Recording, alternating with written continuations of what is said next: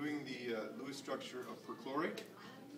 So we begin by accounting how many valence electrons there are in the in the anion. We have chlorine, we have oxygen, and there's a negative charge of one, so we're going to throw in one electron.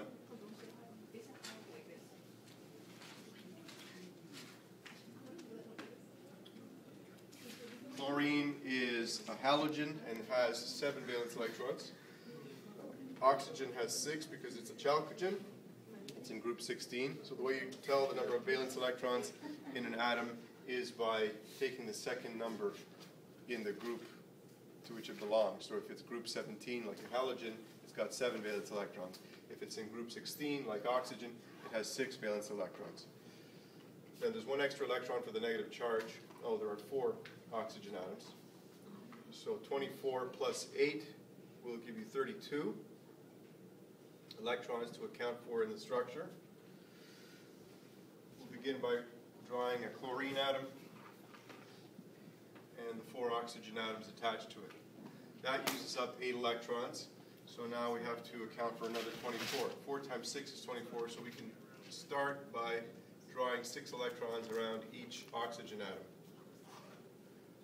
And it'll make a structure with several formal charges, which we can then modify and give the final version of the uh, correct Lewis structure, or the more correct Lewis structure. If we draw this, each one of these oxygens will have a formal charge of negative 1, and the chlorine will have a formal charge of plus 3. We'll see why in, in a moment. Let's first do the accounting of the octets.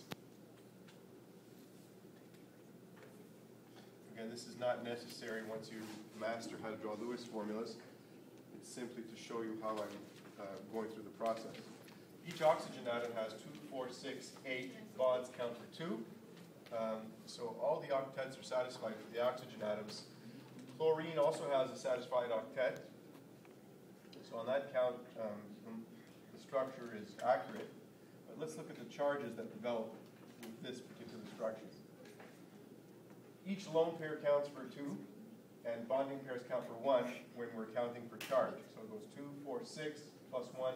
So this oxygen atom is in possession of 7 electrons as far as it's concerned, uh, which gives it a formal charge of negative 1. The chlorine is in formal possession of only 4 electrons, but it likes to have 7 valence electrons in, its immediate vicinity. So in fact, it has a formal charge of plus 3. Overall, this molecule would have a charge of minus 1 because the 4 1s on each of the oxygens and the plus 3 on the chlorine would uh, add up to a net charge of minus 1. But that's too many formal charges in one molecule. So let's refine it by moving some of the lone pairs in and turn them, turning them into bonding pairs. So we'll do that three times. That take, that's going to take care of the plus 3 on chlorine. So this new structure is going to look like this.